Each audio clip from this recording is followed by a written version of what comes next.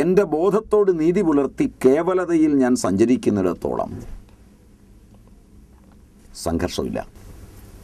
ഞാനും നിങ്ങളുമായി പിണങ്ങിയാൽ നിങ്ങളെ പിണക്കത്തെ അംഗീകരിക്കാതെ എന്റെ അജ്ഞാനത്തെ കാണുകയും ഞാൻ പിണക്കത്തെ അംഗീകരിച്ച് നീങ്ങുകയും ചെയ്താൽ എന്റെ കോശ സ്വഭാവത്തിൽ കിടക്കുന്ന വൈകല്യങ്ങൾ മാറാനൊരു പന്ത്രണ്ട് കൊല്ലം മതി. കോശം അതിനുള്ളിൽ പരിണമിക്കും. പൊളി പിണങ്ങി ഞാൻ മറന്നുപോകും നിങ്ങളോട് പിണങ്ങിയതാണ്.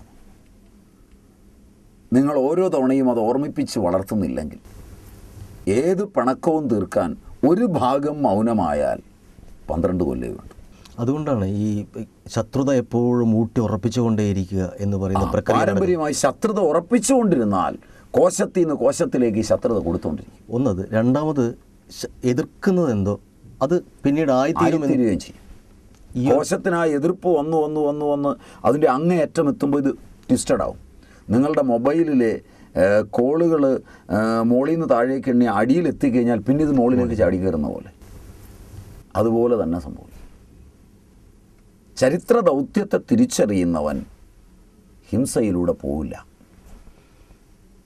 അഹിംസ പരമമായ ധർമ്മമാണെന്നറിയും. ദൃശ്യങ്ങൾക്ക് അമിത പ്രാധാന്യം കൊടുക്കില്ല. ദൃശ്യശാസ്ത്രങ്ങൾ വികസിക്കുകയും അതിന്റെ അനുസ്യൂതത തെറ്റിൽ നിന്ന് തെറ്റിലേക്ക് പോകുമ്പോഴും ശരിയാണെന്ന് വ്യാഖ്യാനിക്കപ്പെടുകയും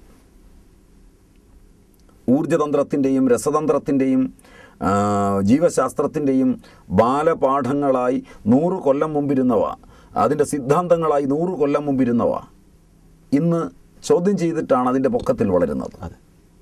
അതുകൊണ്ട് ദൃശ്യശാസ്ത്രങ്ങൾ അത്രയും സഞ്ചരിക്കുന്നത് അസത്യത്തിന്റെ പാതയിലാണ്. വ്യവഹാര സത്യത്തിന്റെയും പ്രാതിഭാസിക സത്യത്തിന്റെയും വഴിയിൽ മാത്രമാണ്.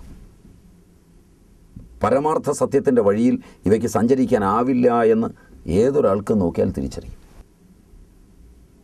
ജീവനേക്കാൾ അവയ്ക്ക് പ്രാധാന്യം നൽകുമ്പോൾ ഏറ്റുമുട്ടലുകളും യുദ്ധങ്ങളും അനിവാര്യമായിത്തീരും. തീരും മത അനുഭൂതിയും വൈയക്തികമാണെങ്കിൽ അത് അഹിംസയിലേക്ക് ചെല്ലും. വൈയക്തികമായ ബോധം വിട്ട് ദൃശ്യത്തെ പിന്തുടരുന്നതാണ് ശാസ്ത്രത്തിന്റെ വഴിയെങ്കിൽ ആ ശാസ്ത്രം ഹിംസയിലേക്ക് കൊണ്ടുപോകും. ദൃക്കിന് പ്രാധാന്യം കൊടുക്കുന്ന മതങ്ങളുടെ ദർശനങ്ങളെ ജനങ്ങൾക്കായി പുറമേ കൊടുക്കുകയും ദൃശ്യശാസ്ത്രങ്ങളുടെ വികാസമായ ദൃശ്യങ്ങളെ അനുമിച്ചുള്ള പഠനങ്ങളും സാമ്പത്തിക ദർശനങ്ങളും അകമെ വെച്ചു പുലർത്തുകയും ചെയ്താൽ മതവും ആധുനിക ശാസ്ത്രവും ചേർന്ന് ജനജീവിതത്തെ ദുസ്സഹമാക്കുകയും ചെയ്യും. മതം അതിന്റെ അനുഭൂതിയുടെ തലത്തിൽ ദൃശ്യങ്ങളെക്കുറിച്ചല്ല പഠിപ്പിക്കുന്നത്. ദൃശ്യങ്ങളെ പൂർണമായി വെടിഞ്ഞ് ആന്തരികമായൊരു അനുഭൂതിയെയാണ് പഠിപ്പിക്കുന്നത്. നിർവാണത്തിലേക്ക് ബുദ്ധൻ ശ്രമിച്ചതും സ്വർഗരാജ്യത്തിലേക്ക് അത് നിന്റെ ഉള്ളിലാണ്. കർത്താവ് ഈശോമിശിയ പല പ്രാവശ്യം പറഞ്ഞിട്ടുണ്ട്. സ്വർഗരാജ്യം വെളിയിലല്ല നിന്റെ ഉള്ളിലാണ്. അദ്ദേഹം പറയുന്നുണ്ട് ഈ പാനപാത്രം എന്നിൽ നിന്ന് എടുക്കണമേ എന്ന്. ഈ ദൃശ്യങ്ങളാണ് പാനപാത്രം മുഴുവൻ.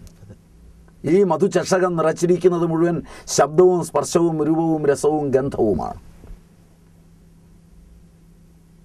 അതിന്റെ അനുഭവങ്ങളൊന്നും ആനന്ദപ്രദമല്ല. ഈ പാനപാത്രം എന്റെ കയ്യിൽ നിന്ന് എടുത്തു മാറ്റുകയും എന്റെ ആത്മാവിനെ എനിക്ക് അനുഭവിക്കാൻ കഴിയുകയും ചെയ്യുക എന്ന് പറയുന്നത് ഒരു വലിയ അനുഭൂതിയാണ്. അതിന് തടസ്സം ഈ പാനപാത്രമാണ്. ആത്മാവിനെ സ്വതന്ത്രമാക്കാത്ത എന്റെ സ്വപ്നങ്ങൾ എന്റെ ജാഗ്രത് എന്റെ സുഷുപ്തി മൂന്ന് ശരീരങ്ങൾ അത് പാനപാത്രങ്ങളാണ്. അതിലൂടെയാണ് ഇന്ദ്രിയങ്ങൾ വഴി ഈ വിഷയങ്ങളെ മുഴുവൻ ഞാൻ ഭുജിക്കുന്നത്. ഈ വിഷയങ്ങളും ആ വിഷയങ്ങളാകുന്ന മുന്തിരിച്ചാറ് നിറച്ചു വച്ചിരിക്കുന്ന ഇന്ദ്രിയങ്ങളും ആ ഇന്ദ്രിയങ്ങളെയും വിഷയങ്ങളാകുന്ന മുന്തിരിച്ചാറും ചേർന്നു വരുന്ന എന്റെ മനസ്സും അതുളവാക്കുന്ന സ്വപ്ന ലോകവും ജാഗ്രത ലോകവും എന്നിൽ നിന്ന് വിട്ടാൽ പിന്നെ കേവലനായ ഒരു സത്യം മാത്രമേ ഞാനുള്ളൂ. അതൊരു ആന്തരിക അനുഭൂതിയാണ് അത് സ്വർഗരാജ്യമാണ്. അവിടുന്ന് എനിക്ക് തിരിച്ചു വരവില്ല നതത്ര സൂര്യോ ഭാതി ന ചന്ദ്രതാരകം നേമാ വിദ്യുതോ ഭാതി കുതോയമഗ്നി തമേവ ഭന്തം അനുഭാതി സർവം സർവ തസ്യഭാസ സർവമിതം വിഭാതി എന്ന് ഉപനിഷത്തുകൾ പറയുന്നു. നതദ്ഭാസയതേ സൂര്യോ ന ശശാങ്കോ ന പവക. യദ്ഗത്വ നിവർത്തന്തേ. തധാമ പരമമ്മ മമ എന്ന് ഗീത പറയുന്നു. എന്റെ ഇരിപ്പിടം ആ സ്വർഗരാജ്യമാണ്. അവിടെ സൂര്യൻ പ്രകാശിക്കുന്നില്ല. ചന്ദ്രൻ പ്രകാശിക്കുന്നില്ല. നക്ഷത്രങ്ങളുമില്ല. അഗ്നിയും പ്രകാശിക്കുന്നില്ല. ഏതൊരു സ്ഥലത്തെത്തിയിട്ട് തിരിച്ചു തിരിച്ചുവരവില്ലാതിരിക്കുന്നുവോ? ആ നിർവാണ പദം അതാണ്. അതാണ് മതങ്ങളുടെ ദർശനം. ആ മതങ്ങളുടെ ദർശനം